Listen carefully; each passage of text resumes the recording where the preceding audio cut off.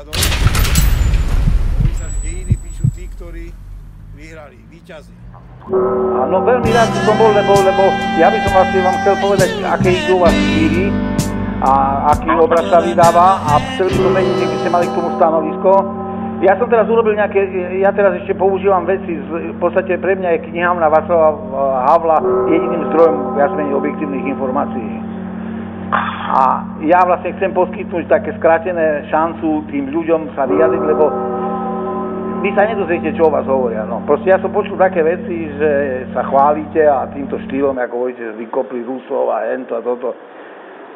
Ja neviem, či môžeme... To už som o tom včera. No, tak... Áno. Ale sú to dosť takí ľudia, ktorých aj poznáte a, a mienkotvorní. Proste ja, ja mám totiž to určité informácie, neviem, či ma poznáte, ja som študoval v Moskve, ako ja som študent v Moskve v GIKu a môj šéfom bol, môj šéfom bol Roman Carmen, ktorý robil tu ten najväčší projekt dokumentárnych filmov s Bartom Lancastrom o druhej svetovej vojne. Čiže ja mám trošku nejaké informácie, aj som postretával nejakých ľudí a Betušenka, generálov a také. Takže mne sa zaviete, že niekedy takéto veľmi skrátené a také silacké reakcie skôr poškodzujú. Ako, ako, ja by som bol nerad, aby, lebo...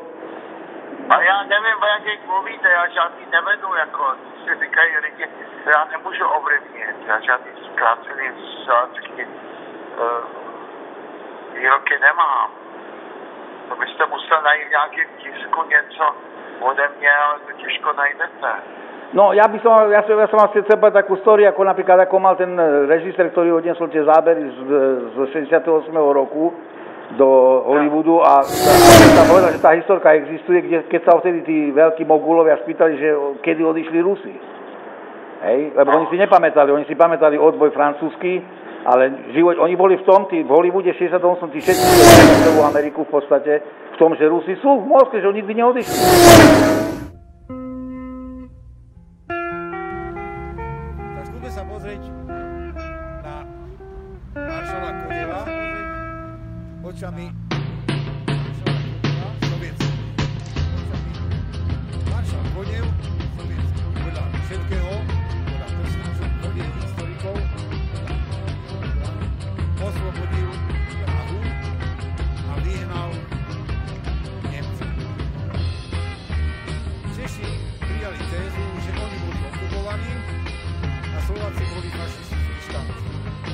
sa v podstate nedá nič namietať, zrejme to tak bolo.